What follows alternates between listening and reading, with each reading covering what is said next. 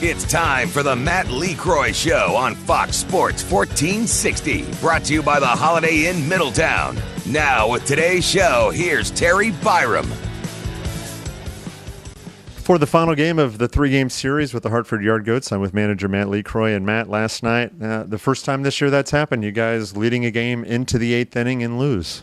Yeah, it was a uh, you know tough night for, for the bullpen. Uh, Lope was outstanding. Uh, offensively, we we drove the ball and and uh, had a big lead on them, and uh, we just couldn't throw the ball over the plate, and uh, we fell victim to walks, and then a big hit by by Hartford with the grand slam, and you got to tip your cap. They stayed in it, battled, and and and took the lead and won.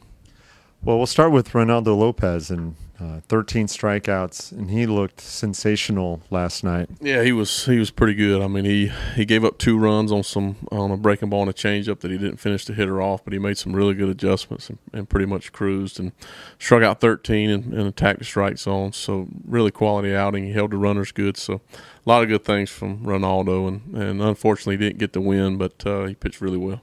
And then Wilmer Difo, couple of home runs that he really squared up, not high fly balls or cheapies, but he hit those hard. Yeah, he's he's starting to. Hopefully that'll that'll get him going. I mean, he's been taking really good batting practices, and uh, hopefully this will be a good start for him. But he, he drove the ball nicely and and then got to another hit. So if he can get going and have Raffy going up top, we should we do some damage.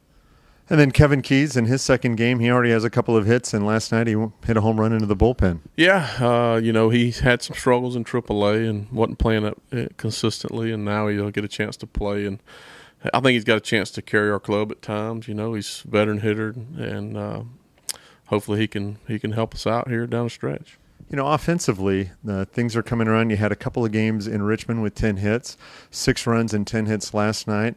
And we've already talked about the pitching, but o- overall, the offense is starting to come around again. Yeah, I think with, uh, you know, Kesey and, and Soto in our lineup, it kind of gives us a little length. It lengthens out our lineup. And uh, hopefully, uh, you know, we'll, the guys up top can get hot and uh, have opportunities for those guys to drive and runs. Bostick's been really good. And, some guys have uh, uh, got some big hits for us. So uh, right now our lineup's in good shape. We got to stay healthy, get Collier back, and uh, that, will lengthen it out even more. And uh, guys got to step up in some people's absences. But uh, overall, we've done starting to do better.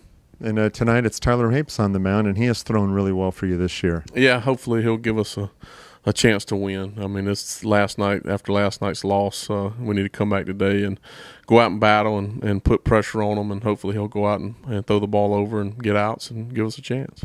We mentioned yesterday that we'll take questions, and you can email me at tbyrom at senatorsbaseball.com or reach me at Twitter at HBGSensRadio, and we already have two. We have one from Jim from Harrisburg that wants to know how it's decided what you guys wear on a daily basis at home. Oh, well, uh, you know, the biggest thing is I get with you, Terry, and we talk about a uniform schedule. Uh, but, uh, you know, right now we let the starting pitchers pick the hats, but we have a schedule that's set up for us before the season of which jerseys we wear. Now, it used to be pitchers pick the jerseys, but now, even in the big leagues, for the most part, and for every team, jerseys are pretty much selected by the front office. Yeah, I think it's the right you know the right move, uh, and also gives the other team an opportunity to wear something different or plan for plan for what we're wearing. So uh, I like it, but we've given them a little leeway with the hat. But uh, I like the jerseys being scheduled out. And then uh, Doug from Dillsburg wants to know uh, what you do to keep the uh, clubhouse loose. Well, I'll tell you, uh, one of the things that, that we like to do, and and I think is, you know, even after tough nights like like last night, you know, we celebrate birthdays.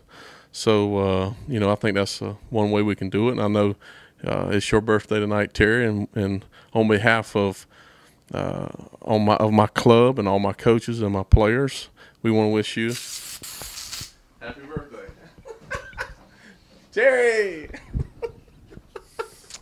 All right, I see you guys came together to do this. I, am proud of you, Perry. I'm I'm proud of both of you. That's it for the Matt Lecroy Show.